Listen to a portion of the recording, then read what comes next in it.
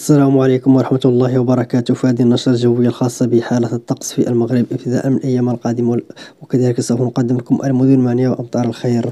فأولا أخي أختي إذا كنت تشاهد القناة لا تنسوا دعمنا باللايكات والاشتراك في القناة وتفعيل زر الجرس باش يوصلكم كاع جديد الفيديوهات والنشرات المقبلة إن شاء الله في هذه النشرة الإنذارية أمطار متواصلة على أقاليم جنوبية المملكة على أوسط السمارة وكذلك العيون وبوجدور بإذن الله. ويتوقع ابتداء كذلك من يوم غد أن تكون الأجواء كذلك غير مستقرة على سوس الجنوب الشرقي وشمال الأقاليم الجنوبية المملكة وكذلك أمطار حاضرة طنطان والعيون وقلميم وسمارة بإذن الله.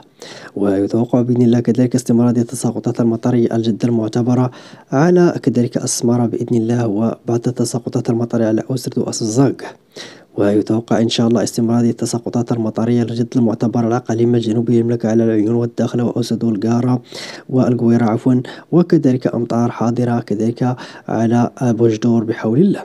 وبالنسبة كذلك اليوم الاثنين أو الخميس استمرار الأمطار ودخول عواصف رعدية قوية تهز المغرب فرحا. على الأقاليم الجنوبية للمملكة وسوف تؤدي الأمطار غزيرة ورعدية قوية محليا على أوسرد وكذلك أمطار وعواصف رعدية متوقعة على كذلك المناطق الداخلية للمملكة. في أو متوقع أن يكون أجواء نسبيا غير مستقرة وتساقطات أمطار ذات طابع رعدي خصوصا على العيون. وكذلك بوجدور وكذلك أسزاك كما تلاحظون في هذا النموذج الأوروبي. كذلك بالنسبة لتوقعات العواصف الرعدية كما تشاهدون إخوة الأعزاء عواصف رعدية حاضرة على أسرد وكذلك ربما تصل حتى الداخلة بإذن الله. وبالنسبة كذلك لتوقعات الأيام القادمة والتوقعات الأيام البعيدة المدى وكذلك يوم الجمعة استمرار التساقطات المطرية على الأقاليم الجنوبية المملكة وهذه العواصف الرعدية إن شاء الله.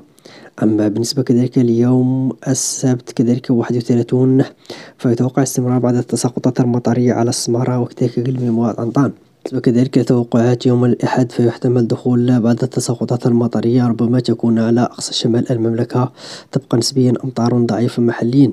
وبالنسبة كذلك لتوقعات يوم الثلاثاء دخول بعض التساقطات المعتبرة إن شاء الله على شمال المملكة وقد تكون أمطار جد غزيرة على طنجة. وتطوان سبت الفنادق المضيق وعصيرة والعرائش تشوشا واللميمونة ووزان وسيدي على التازي وسيدي سليمان وقرية بو محمد وكذلك وزان والرباط وبن سليمان والدار البيضاء برشيد القارة ولاد فرج الوالدية الجديدة سيدي بنو الروماني ويتوقع بحول الله كذلك استمرار التساقطات المطرية والثلجية على مرتفعات الأطلس الكبير والمتوسط على ميدلج وكذلك تبانت وكندر وأزوز وإيمن تانوت واستمرار بعض التساقطات المطرية على سيدي سليمان والرباط والعرائش ببرد.